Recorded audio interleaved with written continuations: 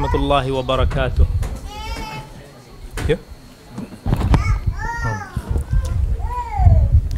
السلام عليكم ورحمة الله وبركاته. الحمد لله رب العالمين والصلاة والسلام على رسوله الأمين نبينا محمد صلى الله على آله وأصحابه أجمعين. رب اشرح لي صدري ويسر لي أمري واحلل عقدة من لساني يفقه قولي. أما بعد. Alhamdulillah kita bersyukur kepada Allah kerana telah memberi kita kesempatan, kekuatan, kesihatan melapangkan masa kita pada malam ini untuk membangunkan Baitus Salam dengan qiyam dan infak kepada Baitus Salam yang mana Nabi sallallahu alaihi wasallam sebagaimana dalam hadis yang diriwayatkan oleh Bukhari Nabi kata ni'matani maghbunun fihima kathirun minan nas. Yang Nabi sallallahu alaihi wasallam sabda dua nikmat yang mana selalu kita ni dalam kerugian.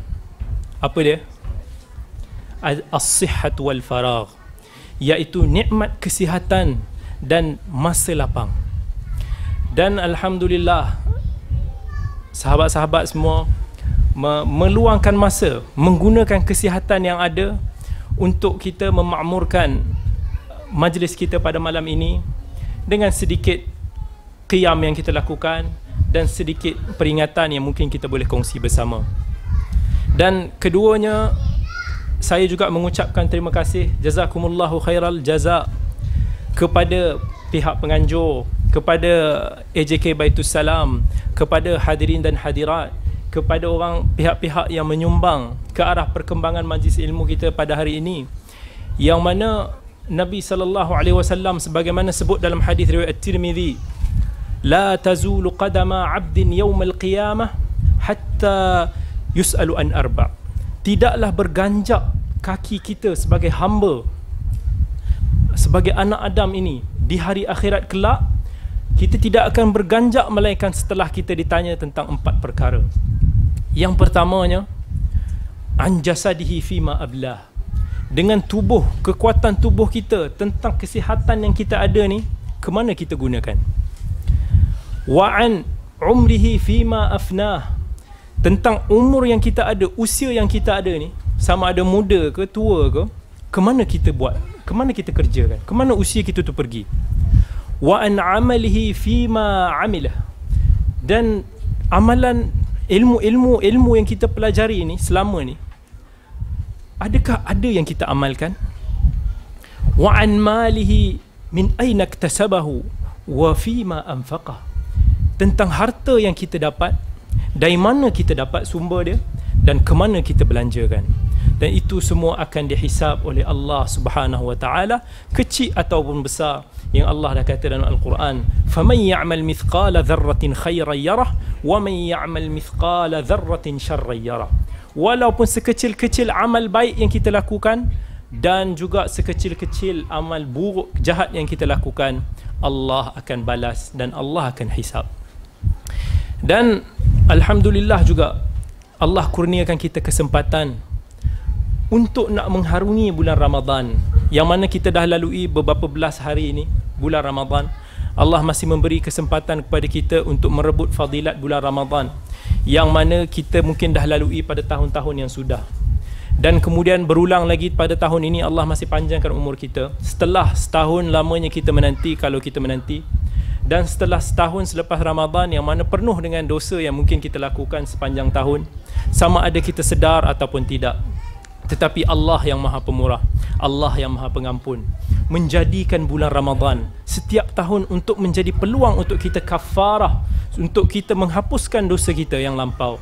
Yang Nabi wasallam dalam hadis yang diriwayatkan oleh Abi Hurairah radhiyallahu anhu sebagaimana dalam riwayat Muslim Nabi kata Ramadan ila Ramadan mukaffiratun ma bainahun idza ijtunibatil kaba'ir. Yang mana Ramadan itu kepada Ramadan yang berikutnya merupakan kafarah penghapus kepada dosa-dosa yang kita lakukan antara keduanya selagi mana kita menjauhi dosa-dosa besar. Itu dosa antara kita dengan Allah.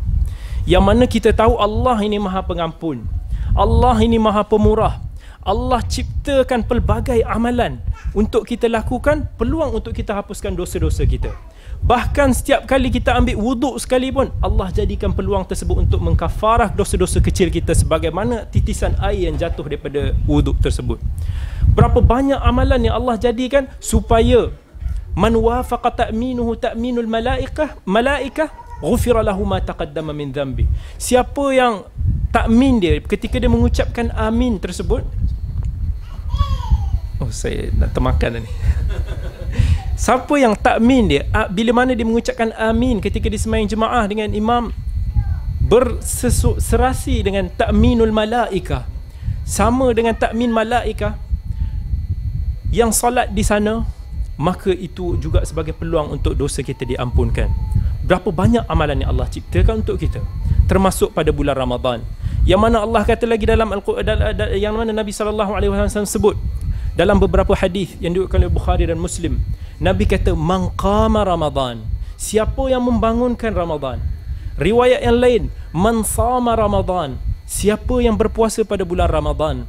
Dan riwayat yang lain man qama Ramadan man qama Lailatul Qadr. Siapa yang membangunkan Lailatul Qadr pada bulan Ramadan? Imanan wahtisaba dengan penuh keimanan dengan penuh mengharap wahtisaba mengharapkan ganjaran daripada Allah Allah kata ghufira lahu ma taqaddama min dhanbi. Allah kata dosa-dosa dia akan dihapuskan yang telah lampau. Betapa pemurahnya Allah. Kita istighfar, insya-Allah Allah akan hapuskan dosa kita, dosa kita. Allah Maha mengampunkan semua dosa yang kita kata yang kita lakukan kecuali syirik. Innallaha yaghfiru ayyushraka bihi wa yaghfiru ma duna dzalika liman yasha. Kecuali syirik sahaja. Itu Allah. Yang mana kalaulah kita andai kata kita buat dosa antara kita dengan Allah, insya-Allah dengan husnudzan dengan sangka baik kita kepada Allah insya-Allah Allah akan ampunkan dosa kita. Dengan Allah mudah. Tapi dengan manusia dengan orang-orang yang kita buat salah dengan sahabat-sahabat kita yang mungkin kita buat salah pada dia kemudian dia meninggal kita tak sempat jumpa dia pergi ke sana dia pergi kemari. Dengan orang-orang yang kita kutuk selama ni yang kita tak pernah jumpa pun barangkali. Dengan orang-orang yang kita umpat selama ni bukan atas dasar syar'i pun kita mungkin tak berpeluang untuk nak meminta maaf kepada dia bagaimana dengan dosa-dosa tersebut? Macam mana dosa-dosa tersebut nak dihapuskan? Sebab itu antara kita dengan manusia. Yang mana kalau di dunia ini tak settle maka kita akan his, dihisap dia akan diputuskan antara kita dengan orang tersebut di akhirat kelak. Adakah itu yang kita mau sebab itulah pada malam ini antara satu topik yang senang tetapi sukar diamalkan dan sangat penting untuk kita hayati. Pada bulan Ramadan yang kita tahu sebagai bulan pengampunan, kita mengharapkan pengampunan daripada Allah. Kita nak Allah ampunkan kita ataupun tak ada yang mengharapkan keampunan daripada Allah. Semua mengharapkan keampunan daripada Allah, betul tak? Dan kita mengharapkan sesuatu daripada Allah tetapi pada masa sama kita tak willing untuk nak mengampunkan orang lain yang buat salah kepada diri kita. Ramai orang hari ini dia nak mengharapkan satu benda yang baik pada diri dia tapi dia tak mau bagi baikkan kepada orang. Orang ramai mengharapkan supaya ada orang memberi dia bantuan memberi kebaikan kepada dia tetapi dia tak mau membantu orang. Ramai orang nak jadi kaya tetapi dia tidak mau menyumbang. Dia tidak mau membelanjakan harta dia ke jalan Allah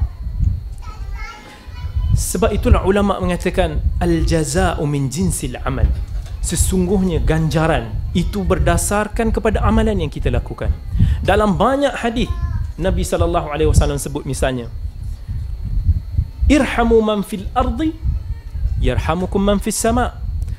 Berkasih sayanglah, kasihilah orang yang berada di bumi di, di muka bumi ini, mereka yang ada di bumi ini.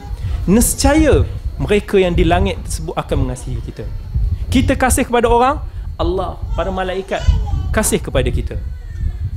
Nabi kata lagi man kana fi hajati akhi kana Allah fi hajati. Siapa yang sentiasa membantu memenuhi hajat saudaranya sesama Islam maka Allah kelak akan memenuhi hajatnya nanti. Nabi kata lagi man satara mu'minan fid dunya satarahu Allah yaumal qiyamah siapa yang menutup aib saudara semukmin seislam yang di dunia ini maka di akhirat kelak aib kita akan ditutup. Al jazaa'u min jinsil amal.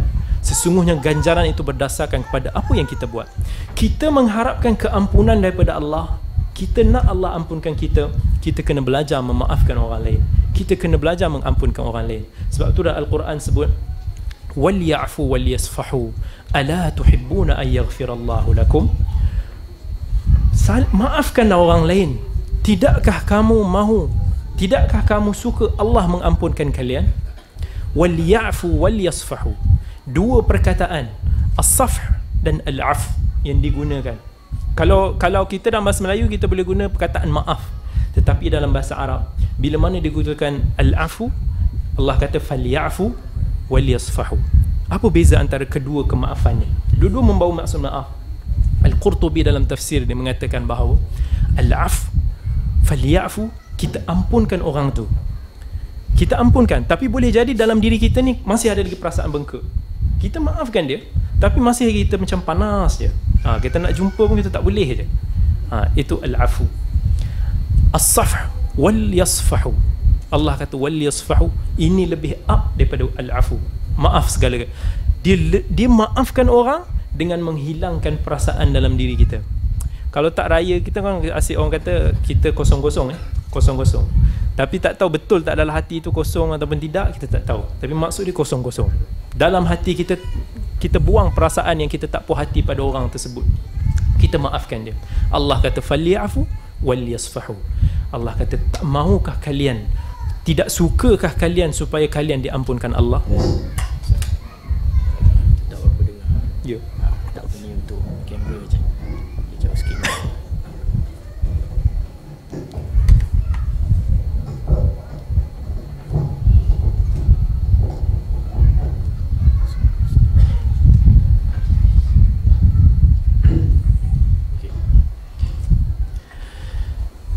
Dan Allah sebut lagi dalam ayat yang lain tiba-tiba suara jadi kuat. wa in ta'fu wa tasfahu wa taghfiru fa inna Allah ghafurur rahim. Kalaulah kalian mengampunkan al-afu wa tasfahu lagi ampunkan clean tak ada perasaan dalam hati lagi wa taghfiru fa inna Allah fa inna Allah ghafurur rahim. Sesungguhnya Allah itu Maha pengampun. Sebab itulah kita kena belajar mengampunkan orang, memaafkan orang lain, barulah Allah akan ampunkan kita. Sebab itulah dalam hadis yang diriwayatkan oleh Imam Muslim dan daripada riwayat yang pelbagai lagi menceritakan kisah seorang lelaki yang mana akan dihisap di akhirat kelak Nabi ceritakan. Ketika ketika dia akhirat kelak, dia datang dengan amalan yang sedikit bila mana dia datang dengan amalan yang sedikit Bila ditanya Apakah amalan yang kamu lakukan? Apakah amalan baik yang kamu lakukan? Dia kata Mafhumnya Aku ni seorang peniaga di dunia Dan aku memberi pinjaman kepada orang. Iaitu kita kata macam alung lah. Aku bagi pinjam duit ke orang. Yang mana kemudian aku hantar orang kutip Yang mana mampu bayar balik tu ambil lah. Yang mana yang tak mampu balik Yang tak mampu bayar balik Dia kata dia biar yang mana ada hutang tak mampu dia kata dia halalkan. Maksudnya dia tak ada orang kata deep feeling dalam hati dia orang ni pinjam duit aku tak mau bayar. Tapi hati dia bersih murni macam tu dia kata tak apa. Mungkin dia orang susah aku biarkan dia halalkan. Bila dia kata macam tu maka Allah kata lagi ana ahaqqu bidzalik. Maka aku ini lebih berhak daripada sikap tajawuzul mu'sir ni. Maksudnya me, me, me, melepaskan orang tu. Maka disebabkan itu Allah masukkan lelaki tersebut ke dalam syurga. Allah lepaskan dia tak tengok dia punya kesilapan yang dia lakukan. Allah jadikan sebab amalan dia tersebut untuk dia masuk ke syurga. Kita ni dah bela, dah lama dah lama sebelum ni kita banyak buat silap pada orang. Kita sedar kita tak sedar kita sengaja ataupun kita tak. Kita tak ada orang pun dekat dekat yang hadirin yang ada kat sini ni tak pernah disakiti oleh orang lain. Betul tak kita mesti ada pernah rasa macam bengkak pada orang orang tu buat jahat pada kita tak jiran tetangga tak ibu bapa kita tak anak-anak kita tak adik-beradik kita tak saudara mara kita tak bos di tempat kerja kita teman-teman sekerja kita sahabat-sahabat seperjuangan kita mana-mana pun kita mesti akan disakiti oleh orang-orang yang ada di sekitar kita. Dan kadang-kadang bila kita bertelagah dengan kawan-kawan kita kadang-kadang bukannya sebab maksiat pun. Kadang-kadang pertelingkahan disebabkan isu kerja. Kadang-kadang disebabkan isu peribadi isu ilmiah. Begitu juga dengan sahabat handai keluarga. Semua kita kita kadang-kadang bertelagah disebabkan benda-benda yang kadang-kadang simple yang sepatutnya kita boleh settlekan cepat. Tetapi orang kata hati Melayu ni hati sentap. Ha, dia sikit salah sikit. Yang penting depan-depan kita senyum. Yang belakang kita tikam jadi akibat tu kita makin bengkak kita makin marah kita kita jadi kita jadi panas. Dan akibatnya salah yang sikit macam tu kita sanggup untuk nak boykot kita punya orang yang kita bertelagah tersebut. Sahabat-sahabat seperjuangan. Kawan-kawan, keluarga Seta, bukan setakat beberapa bulan kita tak bertegur siapa. Kadang-kadang lebih daripada setahun bertahun-tahun kadang-kadang keluarga yang kita pernah dengar kan. Ber, ber, berpuluh tahun kadang-kadang tak berjumpa, tak bertahun tak bertegur siapa. Sahabat tak mau. Kalau nak ajak jumpa tak mau. Supaya tak mau bertembung. Kita kita belajar sunnah. Kita tahu apa yang Nabi SAW sebut dalam hadis riwayat Bukhari la yahillu li muslimin ay yahjura akhahu fawqa thalath.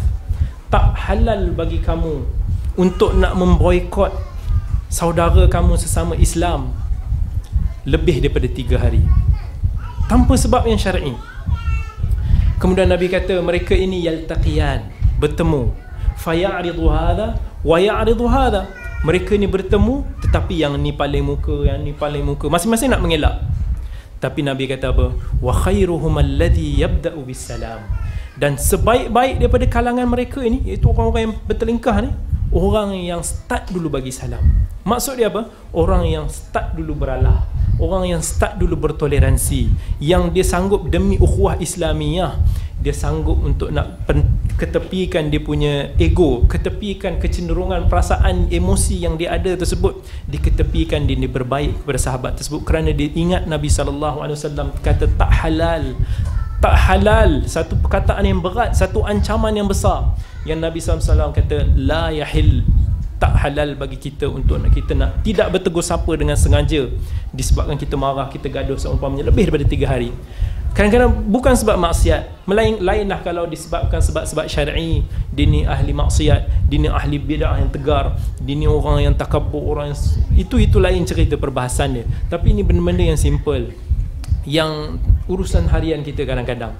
Maka inilah benda yang penting untuk nak kita belajar untuk nak saling memaafkan kita pernah disakiti kita tahu.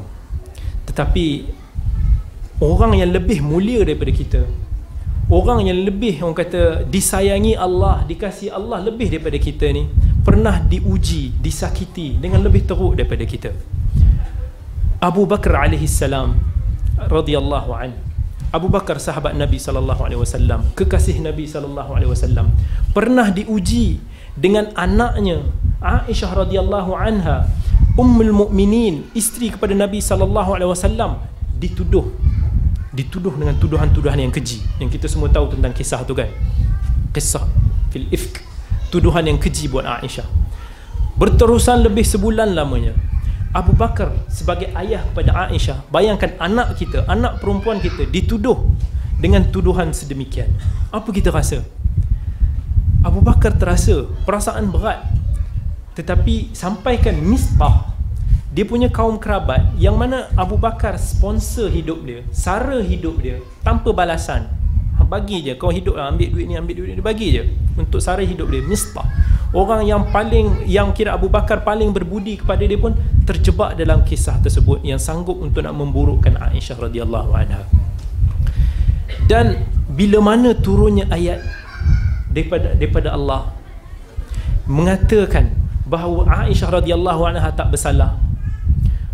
Abu Bakar mula-mula marah. Dia kata, aku tak akan lagi bagi duit belanja pada Mistah. No more. Tak ada dah. Sebab dia sanggup nak nak nak nak nak tuduh anak aku sedangkan aku selama ni buat baik pada dia. Tetapi Allah ajar ajar Abu Bakar, ajar kita untuk nak memaafkan walaupun situasi yang kita kita hadapi itu berat. Sebab itulah Allah turunkan ayat wala ya'tali ulul fadli minkum والسعة أن يؤتوا أولي القربى والمساكين والمهاجرين في سبيل الله Allah kata janganlah orang-orang yang yang selama ni dah rajin infak, rajin bagi belanja ke dalam fisabilillah bagi orang miskin pada kaum kerabat dia. Allah kata jangan berhenti. Wal ya'fu wal yasfahu ala tuhibbuna an yaghfirallahu lakum. Bahkan maafkanlah benar-benar lupakan apa yang dah lepas. Ala tuhibbuna an yaghfirallahu lakum. Tidakkah kalian mahu bahawa Allah ampunkan kalian? Abu Bakar bila baca ayat tersebut dia menangis dan dia akan kata bala aku sesungguhnya sesungguhnya aku mahu Allah mengampunkan aku maka aku akan sambung balik nafkahku yang bagi pada Misbah Abu Bakar radhiyallahu anhu Nabi sallallahu alaihi wasallam Nabi pun diuji benda yang sama ujian yang sama bila mana Aisyah bila mana orang munafiqun datang bawa berita bahawa isteri kamu curang isteri kamu sekian dan sekian tuduhan yang berat Nabi SAW reaksi dia apa? Dia keluarkan pedang Dia pukul Dia caci Dia maki ke? Tak Tapi Nabi SAW kata dengan tenang Ini first step yang perlu kita belajar. Bila mana ada orang menyakiti hati kita Pertama sekali Ihda Maksudnya apa? Cool. Calm down. Tenang. Jangan terlalu tegupuh gapah Jangan terlalu nak ikut gambaran. Nabi bila dengar benda bersama Isteri sendiri dapat tuduhan tersebut. Yang Nabi ada sikit terkesan benda tu. Nabi rasa Tapi Nabi jaga. Nabi diam. Nabi Nabi kata ke Aisyah Walaupun Aisyah menangis pada dia ketika itu Nabi kata Ma aqdar ubarrik. Aku tak mampu Aku tak mampu nak nak membebaskan kau daripada tuduhan ni. Sebab aku tak tahu siapa salah satu siapa benar lagi. In kunti irtakabti khata'an. Kalaulah kamu memang betul-betul buat salah ni fastaghfiri wa tubi ila Allah mintalah maaf mohonlah keampunan bertaubatlah kepada Allah.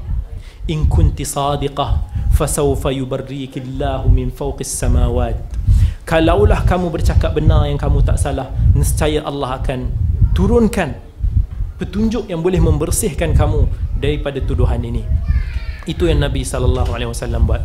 Insan yang paling mulia akhlak dia, yang paling tinggi wa innaka la'ala khuluqin azim. Dalam Quran sebut, sungguh Nabi itu akhlak dia sangat tinggi.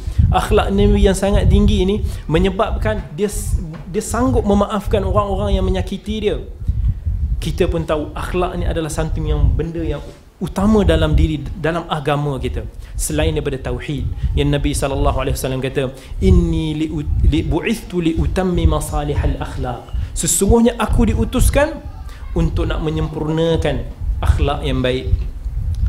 Dan kita tahu orang yang berakhlak baik ni bukannya mudah. Bukan kata bukan mudah untuk nak kita capai. Selalu kita tengok akhlak yang baik ni senang simple susah sebab ganjaran dia besar. Yang Allah yang Nabi sallallahu alaihi wasallam dah sebut lagi dalam banyak hadis. Misalnya dalam hadis Aisyah radhiyallahu an sebagaimana diriwayatkan oleh Abu Daud. Aisyah eh, Nabi SAW kata innal mu'mina la yudriku bi husni khuluqihi darajatal qa'imi saim sesungguhnya orang mukmin itu dengan akhlaknya yang baik dia akan mencapai mem- memperolehi ganjaran orang-orang yang rajin membangunkan malam dan rajin berpuasa dan sebab itulah dalam hadis yang lain Nabi sallallahu alaihi wasallam sebut sebagaimana diriwayatkan oleh At-Tirmizi daripada hadis Abi Darda. Nabi kata ma syai'un athqalu fi mizanil mu'mini yawmal qiyamati min khuluqin hasan. Di akhirat kelak nanti bila mana amalan kita ditimbang tak adalah amalan yang lebih berat ketika itu melainkan daripada akhlak yang baik. Dan Nabi janjikan lagi orang-orang yang mampu menjaga akhlak dia yang baik Nabi kata akmalul mu'minina imanan ahsanuhum akhlaqa. Sebagaimana diriwayatkan oleh Hurairah daripada hadis riwayat Tirmizi Nabi kata orang yang paling sempurna iman dia dan yang paling sempurna iman dia adalah mereka yang paling baik akhlaknya. Sebab itulah Nabi SAW kata lagi dalam hadis Nawas bin Sam'an riwayat Muslim al-birru husnul khuluq. Sesungguhnya kebaikan itu raja segala kebaikan itu ialah akhlak yang baik Bukanlah kata akhlak yang baik ni segala-gala yang menentukan untuk kita ke syurga ataupun ke neraka. Kalau kita akhlak yang baik, tapi tauhid kita salah pun bermasalah juga. Tetapi akhlak ini adalah satu benda yang sangat utama dalam agama. Sebab itulah Nabi kata tadi albirru husnul khuluq. iaitu kebaikan itu pada akhlak yang baik bukanlah akhlak yang baik ni everything dalam kebaikan tetapi dia adalah benda yang paling penting dalam kebaikan macam mana dalam hadis yang diriwayatkan oleh Sunan Arba'ah bila mana Nabi SAW sebut Al-Hajju Arafah. Haji itu Arafah. Adakah kita faham melakukan uh, berwukuf di Arafah itu semata-mata dah cukup untuk kita haji? Tak. Tetapi Arafah, wukuf di Arafah adalah satu elemen yang paling penting dan sangat penting ketika kita melakukan haji.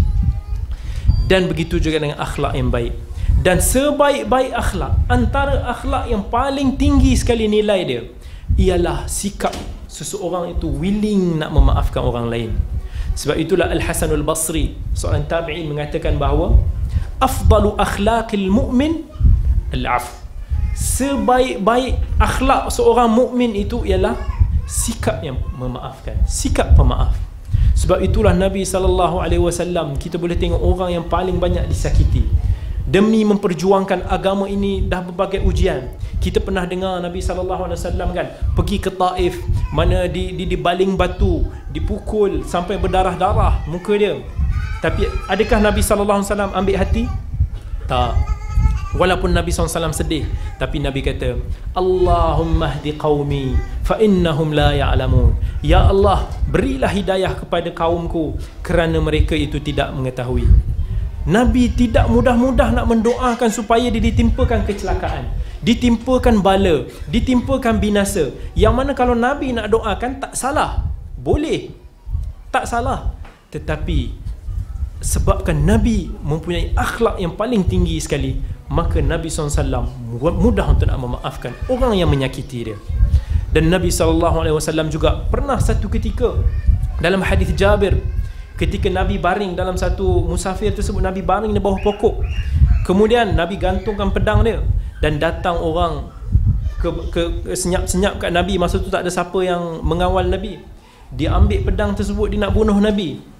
Tetapi tak dapat nak bunuh. Sampailah bila mana Nabi sedar Nabi bangun. Nabi kata mayyam na'uka minni?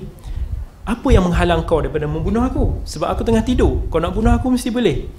Tapi dia kata Allah dan Nabi SAW release dia. Maafkan dia. Orang yang nak bunuh dia Nabi biar Nabi duduk dan Nabi tak. Tak ada hukum dia apa-apa.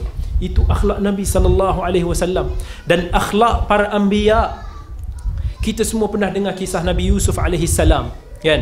Kita baca surah Nabi Yusuf uh, dalam Al-Quran. Kisah macam mana Nabi Yusuf diuji dicampak dalam perigi oleh adik-beradik dia yang berkomplot nak memburukkan dia membuang dia Nabi Yusuf kemudian dia, dia, dia, dia, dia ditawan, dijadikan hamba, di, dipenjara dengan melalui pelbagai ujian yang dahsyat. Berapa lama, bertahun-tahun dipisahkan daripada ayah kesayangan ni, ayah kesayangannya. Dan bila mana akhir sekali, bila mana adik-beradik dia dah datang dalam keadaan yang insaf, datang berjumpa dengan Nabi Yusuf. Nabi Yusuf hukum adakah Nabi Yusuf menghukum mereka ini? Adakah Nabi Yusuf pukul dia, ancam dia orang? Nabi Yusuf ada power ketika itu. Ada kekuatan untuk dia nak menghukum orang tu. Tetapi Nabi Yusuf kata kepada mereka ini adik-beradik dia yang buat jahat kepada dia selama ni la tathriba alaikumul yawm yaghfirullahu lakum wa huwa arhamur rahimin. Tak adalah kesalahan kamu lagi hari ini. Kamu free. Dan Allah akan mengampunkan kamu. Wa huwa arhamur rahimin. Sesungguhnya Allah itu maha pengasih lagi maha penyayang Itulah akhlak para anbiya yang mudah untuk nak memaafkan orang lain. Walaupun dikala dia ada power untuk dia nak buat, tetapi dia mampu nak bertahan. Dia mampu untuk nak mengawal emosi dia. Safiyah binti Huyai, isteri Nabi sallallahu alaihi wasallam. Ketika mana zaman Umar bin Al-Khattab radhiyallahu an hamba kepada Safiyah dia dia dia dia rasa dia rasa macam marah dekat Safiyah, dia nak buat cerita dekat Safiyah dia pergi jumpa dengan Umar bin Khattab. Dia jumpa Umar bin Khattab dia tuduh dia kata Safiyah uh, Safiyah kata hari Sabtu yang paling mulia dan dia dia dia masih terikut lagi dengan akidah masa Safiyah Yahudi dulu. Sebab Safiyah binti Huyai asalnya adalah daripada keturunan Yahudi yang kemudiannya masuk Islam dan berkahwin dengan Nabi sallallahu alaihi wasallam. Jadi Umar radhiyallahu Umar radhiyallahu anhu datang berjumpa dengan dengan Safiyah. Datang jumpa dengan Safiyah dia kata aku dengar kamu kata sekian sekian sekian sekian sekian. Jadi Safiyah kata eh tak. Aku tetap mengatakan bahawa hari Jumaat adalah hari yang paling mulia. Dan aku tak ada semua apa yang dituduh pada dia tak benar. Kemudian Safiyah tanya siapa yang bagi tahu kamu begitu? Jadi Umar kata kamu punya hamba ni yang bagi tahu. Dia kata kamu cakap sekian sekian sekian. Safiyah kata tak. Jadi Safiyah kemudian bila mana dia tahu hamba dia bawa busuk nama dia apa yang Safiyah buat? Safiyah herdik dia? Safiyah maki dia? Safiyah pukul dia ke apa? Tak. Walaupun dia hamba dia Safiyah kata apa? Kamu bebas. Hari ini aku bebaskan kamu. Di masa kita memiliki segala kekuatan power untuk nak hukum orang tu kita maafkan dia. Itulah jiwa sebenar-benar seorang mukmin yang sejati. Sebab itulah kita tahu tentang ayat qisas kan bila mana seseorang tu ditangkap membunuh misalnya dan dia ditangkap dan dia akan dijatuhkan hukuman qisas dan biasanya kalau uh, macam masa-masa saya di Riyadh di Madinah dulu pernah melihat sendiri hukuman pancung dijalankan. Penjenayah tersebut akan dibawa ni ni selepas dah dah bertahun-tahun dah percubaan nak dibuat merayuan dan sebagainya. Dan percubaan yang terakhir sebelum penjenayah tersebut dipancung dia dah diletakkan di atas body bag di atas plastik dan bag yang akan terus angkat mayat dia saja nanti. Ketika itulah masih lagi mereka akan merayu kepada keluarga si mati keluarga mangsa supaya maafkan dia. Ketika itu kita kalau berada di situasi tersebut yang mana orang tersebut bunuh anak kita ke orang tersebut mungkin rogol anak kita bunuh anak kita samun dan sebagainya. Jenayah berat ni dan kemudian dia dah diambang dia nak dipancung kepala dia. Bayangkan kepala nak, nak, nak, nak terbang lah. Kita masa tu kalau kita kata no aku tak maafkan bukan salah kita pun. Tak ada masalah. Dia akan dipancung lah. Tetapi Allah kata wa anta'fu aqrabu littaqwa. Kalaulah kamu meliakan memaafkan orang itu lebih hampir kepada takwa faman ufiya lahu min akhihi syai'un fattiba'un bil ma'ruf. Allah kata dalam ayat qisas lagi siapa yang sanggup memaafkan orang lain lagi maka dia, dia itu dah melalui jalan yang lebih baik. Kalaulah kita berada di tempat tersebut kita mungkin kemungkinan besar kita akan kata kill him. Kan? Kita kita nak puaskan hati kita. Susah. Tetapi orang yang yang mampu memaafkan dalam keadaan yang sukar sedemikian itu kita boleh tahu betapa jiwa dia tu. Masya masya Allah Allah sebab itulah Allah kata tuntut kepada kita. Allah kuatkan arahan dia tuntutan kepada kita supaya kita belajar memaafkan. Sebab kalau kita tak belajar maafkan orang ni hati kita dipenuhi dendam hati kita dipenuhi dengan apa hasad dan seumpamanya. Ini semua adalah sikap-sikap ahli kitab yang mana Allah dah sebut dalam Quran wadda kathirun min ahli kitab law yaruddunakum min ba'di imanikum kuffaran hasadan min indi anfusihim min ba'di ma tabayyana lahumul haq fa'fu wasfahu. Allah masa Allah nak cerita tentang sikap-sikap ahli kitab yang mana mereka ni ada sikap hasad dan seumpamanya dan Allah kata kepada kita fa'fu wasfa maka Allah suruh kita untuk belajar memaafkan orang lain supaya kita tak ada ciri-ciri dalam hati itu sebagaimana orang-orang Yahudi dan Nasrani sebahagian mereka dan Allah sebut lagi dalam Al-Quran فبما رحمة من الله لنت لهم ولو كنت فظا غليظ القلب لانفضوا من حولك فاعف عنهم wastaghfir lahum. Bila mana Allah turunkan ayat ni memerintahkan kita supaya kita berlaku le- lebih lembut dengan orang. Sebab Allah kata kalaulah kita tak berlaku lembut kita berkasar dengan orang walau kunta faddan ghalidhal qalbi lam faddu min hawli. Orang sekeliling kita akan lari. Orang yang kita nak dakwah akan lari dan takut tak suka dengan kita. Tapi Allah kata fa'fu anhum wastaghfir lahum. Maafkan mereka ini dan pohonlah keampunan untuk mereka ini buat mereka ini. Itu pesanan Allah. Dan Allah sifatkan lagi orang-orang yang mampu memaafkan orang lain ni dengan Allah sebutkan mereka ni adalah orang-orang yang bertakwa. Orang yang mempunyai ciri-ciri orang yang ada sikap ihsan. Allah sebut dalam Quran wasari'u ila maghfiratin. Tadi imam ada baca kan? Imam ke imam tarawih yang apa? Yang kedua tadi. Ada baca ayat tadi kan? Jadi ayat tersebut وسارعوا إلى مغفرة من ربكم وجنة عرضها السماوات والأرض أعدت للمتقين Allah kata bersegeralah kita memohon keampunan daripada Allah dan Allah cakap Allah sediakan syurga yang mengalir syurga eh, mengalir apa sungai dan pelbagai nikmat lagi yang disediakan kepada orang-orang yang bertakwa siapa orang-orang yang bertakwa ini Allah kata wad dharra'i wal kadhimina al ghaidha wal 'afina 'anil nas yang Allah kata orang-orang yang selalu berinfak sama ada di kala susah di kala senang. Dan wal kadhimin al ghaidha wal afina anin nas. Ada dua ciri Allah sebut kat sini. Al kadhimin al ghaidh iaitu orang-orang yang mampu nak tahan marah dia. Kita semua mungkin mampu nak tahan marah kan sebagai contoh kalaulah kalaulah uh, mak kita marah kita mak kita tuduh kita macam-macam mak kita cakap something yang kita tak setuju yang kita marah tetapi kita boleh tahan marah kita sebabkan kita hormat pada mak kita. Sebabkan kita malu pada mak kita. Kita tak mau memberontak ke situ, kita tak nak melawan ketika itu. Tetapi kita boleh tahan, itu dah kira baiklah. Tetapi Allah kata orang yang bertakwa ni bukan setakat mampu menahan amarah dia, tetapi wal afina 'anil nas. Dia tahan marah dia dan dia mampu untuk nak mengampunkan orang lain. Ada orang dia boleh tahan marah tapi dia tak boleh maafkan orang lain. Tetapi yang lebih baik ialah orang yang mampu menahan amarah dia dan mampu mengampunkan orang yang buat silap pada dia. Kita pun tahu hari raya dah tak lama. Biasanya kadang-kadang tradisi orang Jawa, tak tahulah masih ada lagi ke tradisi tu pada setengah orang. Bila mana hari raya tu, family akan duduk berkumpul, minta maaf satu-satu, menangis-nangis time tu. Yang kadang-kadang kita pun boleh nampak, hari menangis. Lepas tu tak jumpa setahun gaduh balik Lepas tu tahun depan lagi minta lagi maaf So kadang-kadang kita tertanya-tanya Kemaafan ni macam mana yang yang kita nak Kemaafan ni Agama ni Bila mana kita buat sesuatu tu secara tradisi Tak ada roh Tak ada sunnahnya dalam dalam apa yang kita buat. Maka keberkatan tu tak ada. Kurang.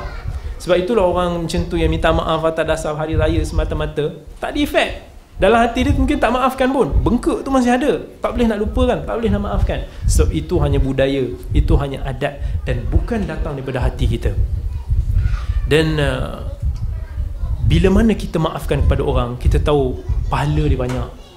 Kita hari ini kita kadang-kadang antara ukhuwah sesama kita sendiri berpecah belah antara keluarga kita berpecah belah disebabkan kita tak mampu nak memaafkan orang. Semua orang akan anggap fulan salah. Aku tak buat salah, dia buat salah pada aku. Yang dia pula pun mengatakan benda yang sama. Aku tak buat salah, dia buat salah pada aku. Disebabkan itu, maka ukhuwah kita terpisah, terpecah. Sedangkan Nabi sallallahu alaihi wasallam sangat mementingkan urusan ukhuwah ini. Nabi kata al-mu'minuna kal bunyan yashuddu ba'dhum ba'dha Sesungguhnya orang-orang mukmin ni sepatutnya seharusnya menjadi seperti satu bangunan yang saling menyokong each other. Satu jadi batu bata, satu jadi tiang, satu jadi lantai, satu jadi atap. Apa-apa jadi tapi kita sokong menyokong berdasarkan kemampuan yang kita ada.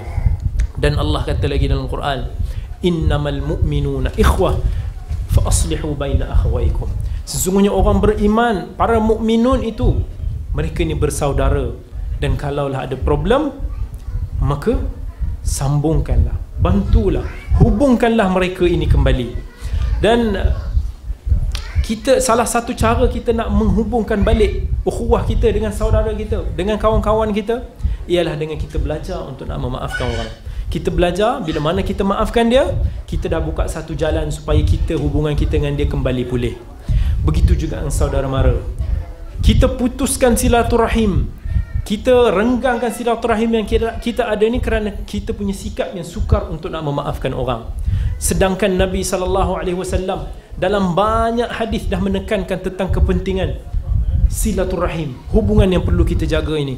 Nabi kata misalnya dalam dalam hadis yang diriwayatkan oleh Bukhari dan Muslim daripada hadis Anas, "Man ahabba ayyubsata lahu fi rizqihi wa yunsa'a lahu fi atharihi falyasil rahimah." Siapa yang nak umur dia dipanjangkan Siapa yang nak rezeki dia diluaskan Falyasil rahimah. Sambungkanlah ukhwah Sambungkanlah silaturahim antara manusia. Ini satu benda, benda yang susah untuk kita buat. Sebab apa kita ni tabiat kita ni kita nak tunggu orang tu buat baik pada kita dulu barulah kita akan balas dia. Kalau orang tu hi kat kita baru kita hi kat dia. Kalau orang tu cakap assalamualaikum kita baru kita nak bagi salam kat dia. Dan Nabi SAW kata dalam hadis Abdullah bin Amr dan riwayat Al-Bukhari Nabi kata laisal wasilu bil mukafi walakinnal wasil alladhi idza qata'at rahimuhu wasalaha. Nabi kata bukanlah orang yang menyambungkan ukhuwah ni ialah orang yang disambungkan disebabkan orang tu buat baik pada dia. Baik itu dia tunggu orang tu buat baik pada dia baru dia buat baik pada dia. Tak. Nabi kata tetapi orang yang menyambungkan ukhuwah ni yang mana kalau orang itu memutuskan hubungan dengan dia kata rahimuhu dia sambungkan orang tu buat jahat pada dia dia buat baik pada orang tu orang tu baling uh, baling sampah ke rumah kita kita bagi dia KFC kalau orang tu uh, parking depan rumah kita. Kereta dia. Ah, kita buatkan parking jadi cantik kat depan. Uh, tu contoh lah. So benda yang susah kita nak buat ialah kita nak balas kejahatan orang dengan kebaikan. Kita nak kita nak tahan okey. Tapi kita nak balas balik dengan something yang lebih baik itu yang menjadi susah. Itulah level ihsan yang susah untuk nak kita nak capai. Sebab itulah kita kena belajar memaafkan orang lain. Sebab kita bila mana kita memaafkan orang lain Ah, kita dapat banyak fadilat. Allah dah sebut lagi dalam Quran, idfa' billati hiya ahsan fa idza alladhi bainaka wa bainahu adawah ka'annahu waliyyun hamim. Allah kata balaslah orang-orang ni dengan something yang lebih baik. Dan mungkin kamu akan jumpa di next time orang-orang yang bermusuhan ni mereka ni kamcing. Macam Jai dengan Malik. Ha, sebagai contoh. Ha, itu siapa yang tengok KL Gangster lah. Jadi close. Begitu sekali.